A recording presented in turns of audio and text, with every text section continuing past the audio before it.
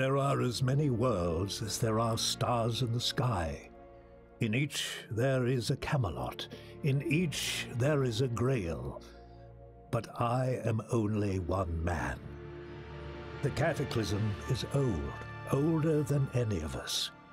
It has no mind, but its hunger is infinite, and its abominations have been gnawing at the veil since the beginning of time.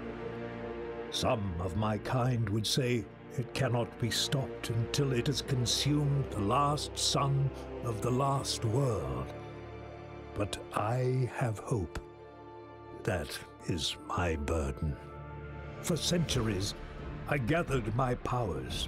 I reached out across infinity and created the one you call King Arthur. A champion to defend each world. At great cost, I devised an instrument that could heal the wounds in reality. To you, it is known as the Grail.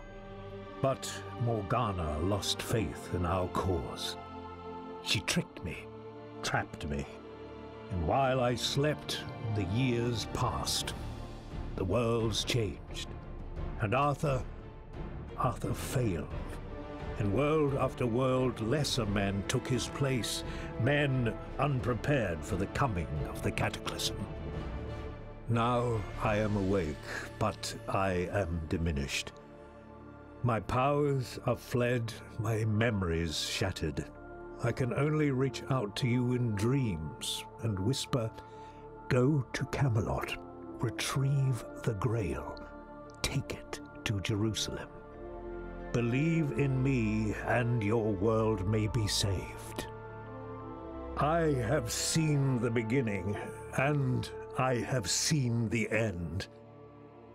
But I will not yield. My name is Merlin.